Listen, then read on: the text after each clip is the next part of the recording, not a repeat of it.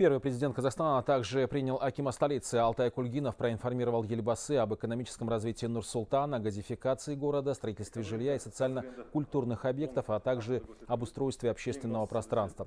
Также Аким представил Нур-Султану Назарбаеву информацию по озеленению территории города, парковых зон и развитию зеленого пояса вокруг столицы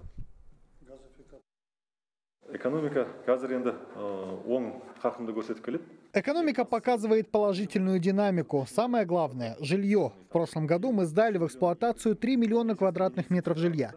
В этом хотим увеличить объемы до 3 миллионов 200 тысяч. газификация қалай жүріп жатыр Как проходит газификация? газификация қарқынды жүріп жатыр В прошлом году на ТЭЦ-1 и ТЭЦ-2 поменяли 4 котла. 4 водогрейных котла. В этом году остальные 9 водогрейных котлов полностью будут переведены на газ. В этом году зашли уже на юго-восток газификацию.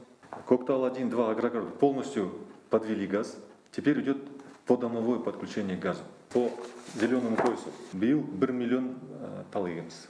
В этом году хотим посадить миллион деревьев. Из них 850 тысяч в зеленом поясе. ендер мынау қаланың төңірегінде Из этого объема деревьев сколько будет принадлежать городу? 90 мыңның 15 мыңы би- біздің қала территориясында. Из 90 тысяч 15 тысяч будут относиться к территории города. Люди любят гулять в районе зеленого пояса. Хотим там построить велодорожки. Мы уже дошли практически до Бурабая.